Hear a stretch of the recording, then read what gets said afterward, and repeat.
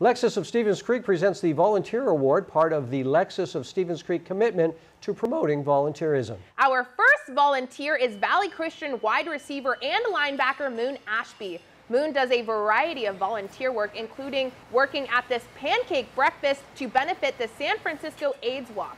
Moon talks about why it's so important to volunteer. Uh, it's, a, it's a good thing. It's a good feeling. It's like um, when you're running, having a rush, a runner's run. That's what it feels like when you're helping out and giving back.